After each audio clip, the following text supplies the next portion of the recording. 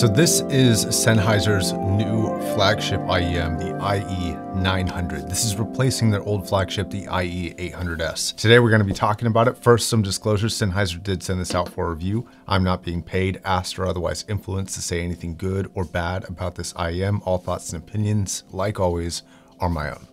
So this thing is pretty wonderful, as you can imagine. Sennheiser is a company that I'm typically a very big fan of most of their headphones. The majority of their audiophile class of, of headphones, I am a huge fan of. I also really liked their previous headphone that they released for IEMs, which is going to be the IE300. This headphone got a really big recommendation from me. But I think what's most interesting about this setup is the line progression. And I think this kind of starts to introduce a, a topic for discussion about what a lower end product and a higher end product for the same company should sound like because what the IE900 sounds like is the absolute monster, detailed, crazy clean, crazy version of the IE300. It seems like that, but much, much better, but still in the same vein of like type of sound signature.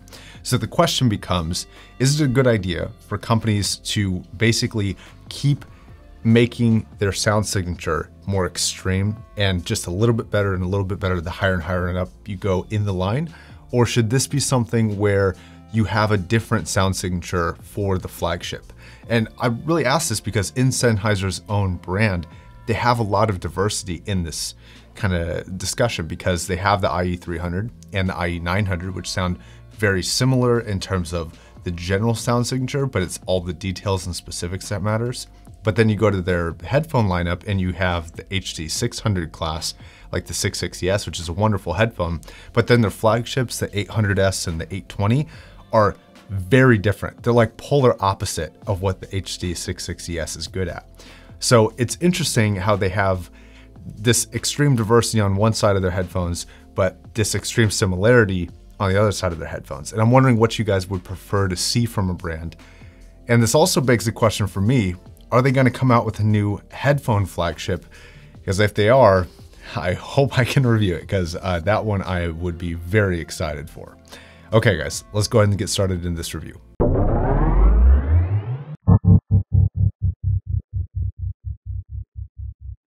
The unboxing is what I would consider to be fairly typical. It comes with a hard case, it comes with your sets of ear tips, it comes with a cleaning device, uh, your manual, of course, and it comes with three cables. Now the cables are 3.5 millimeter unbalanced and a 2.5 and 4.4 millimeter balanced cable. They're all the same length and of the same kind of cable type. The cable is actually great. You can like fold this up, throw it in your pocket, roll it up, doesn't matter. It'll basically come out straight every time uh, without kinks or anything. It's a really nice cable. Now I do wish that the 4.4, because that's a more popular option, especially kind of nowadays with a lot of the, the desktop amplifiers, I, I kind of wish this cable was a little bit longer just for the desktop users and then they'd have the 2.5 or 3.5 for mobile use, but that's not the case. Now quick note on the machining, I won't make this last too long, but Sennheiser did send out uh, these little chassis cutouts uh, without drivers in them also. And uh, I figured I'd take some macro footage of this thing because the inside of this is actually extremely well made. I've seen a lot of internals for IEMs. This is one of the, the cleanest, most well-refined setups that I've actually seen the inside of. So from a machining perspective, good job Sennheiser. Now the comfort here is class leading. In fact, the, the chassis dimensions are exactly the same as the IE300, which I actually think is the most comfortable IEM that I've ever tried.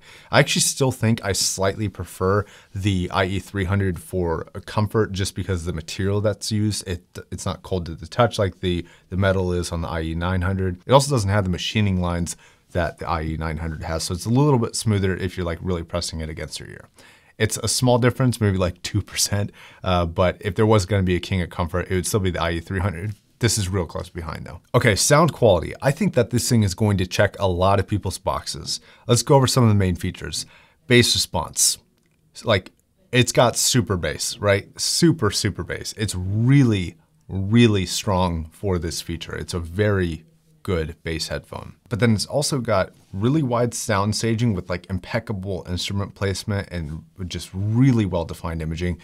But then it's got probably the key feature for me, and why I think I like this so much, which is going to be Sennheiser tonality. Same thing with their IE300. I don't know how they're doing it, but they have a tonality that is unlike any other IEM on the market today and it's wonderful. Now, this is a very enjoyable IEM. That's kind of the goal. This is like the sit back, really envelop yourself into the music, really envelop yourself into a movie. That's what this IEM is going to be for. I would not consider this to be a hyper technical IEM. It's not going to be for the people analyzing music from like a mastering perspective. It's just going to be people simply sitting back and enjoying their music in a fun and engaging way. That's what this IEM is for, and that's who this IEM is for. Now, first thing to talk about for sound quality, I think is the treble response because it's very detailed, but it's also a little bit understated in some areas. It's it's always present, uh, but it's also not really drawing any attention to itself. I think it's actually a little bit dark, even like above like 10K. I think it's a little bit dark there, and it's not really kind of popping through to provide a lot of ambience auditorily, though the sense of ambience is there. And this is the weird thing about the sound staging because if you look at their full size headphones like the HD 800S, the sound staging on that headphone is incredible, but you hear all the upper frequencies. Like you, you physically are aware of their existence and they are adding to the presentation of the staging. It's a little bit different here. It's got wide sound staging for an IEM, really wide, but you're not really picking up on all those upper frequencies. I don't know if this is a good thing or a bad thing. I guess this just depends on the user, right? Like every user is going to be a little bit different on how they prefer to hear the treble response here. And I think for some users, this is going to be like real good. And then for others, they might wish for a little bit more presence up in those upper regions. So I guess this would just depend on who you are and what you prefer. I'd prefer this over an overactive treble personally. So to talk about mid-range, I had to let you know that this is a V-shaped headphone. So because is a V-shaped headphone, where does that V kind of kick in and what does it do to the mid-range? And this has a unique way of dealing with its own V-shape in a pretty fun and engaging way. Let me explain. So normally with a V-shaped headphone, you get a lot of bass, uh, treble spots that are kind of, you know, picking up here and there, uh, but then you get kind of this far out vocalist. Now, the vocalist isn't very forward. They're they're not very like, you know, in your face, super present, but the positioning is like dead center in the center of your brain. And you get this kind of surrounding effect of all the imaging stuff, all the instrument stuff, and all the bass stuff kind of surrounding that globe of a person's voice. It's actually a really like it's a strange take. I, I, haven't really heard too many other IEMs that sound like this, but it's a very like surrounding delivery. So even though the voice isn't forward in terms of, of presentation, the positioning I feel like is excellent. I'm not sure how they're achieving this because it, it doesn't really sound like most other IEMs here. Now, when it comes to the upper registries of a voice, that's where the V shape kind of comes back a little bit.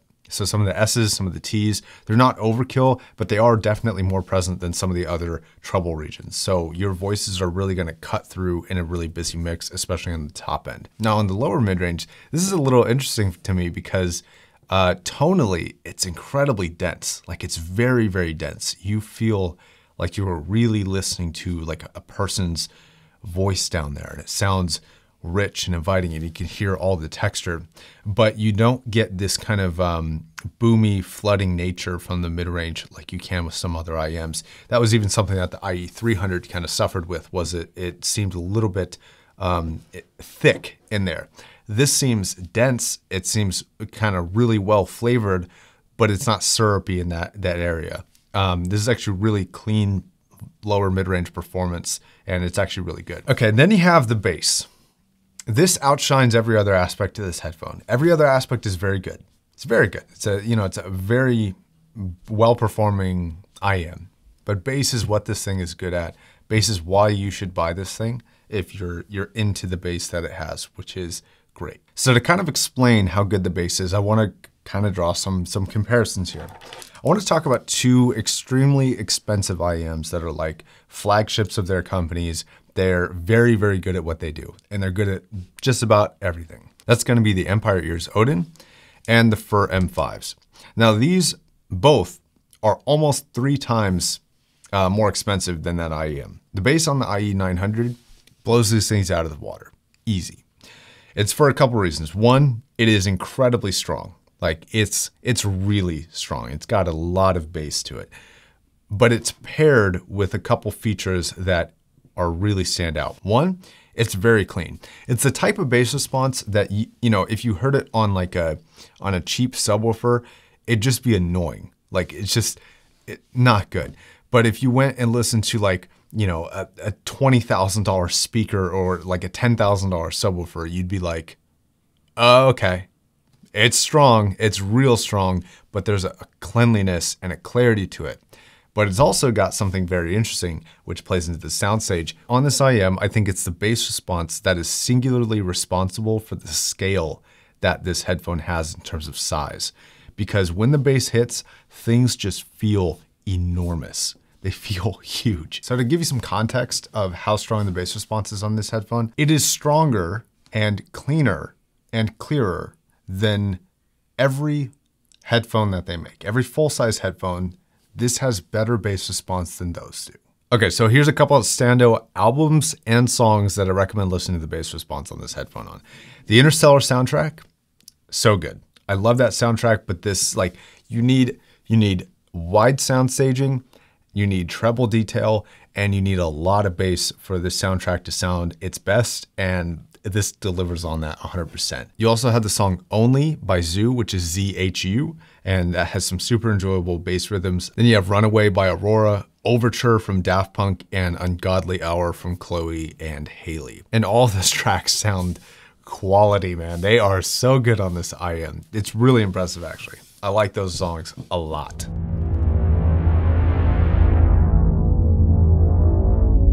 Okay, so conclusion time. I think Sennheiser is, they're obviously very excited, right? This is a, a, a new flagship for them. Uh, they told me specifically that they were kind of wanting this to be a new reference point. I I think it might be a reference point for like one thing, which would be bass response or maybe like comfort if you want to add that as sort of a side category. But I, I think in some areas, the technicality does fall a little bit behind, like the mid-range forwardness could be better, the treble forwardness could be better, um, and the top end of vocals could be smoothed out a little bit. So it does have some room for improvement, like every other product in the planet does. Even though I'm saying that though, if this is your type of sound signature, this thing is great. It's it's great. Okay, I think that's it. Thanks a lot, Sennheiser, for sending this out. Thank you very much for watching. And until the next video, my name is Josh, signing off. Peace.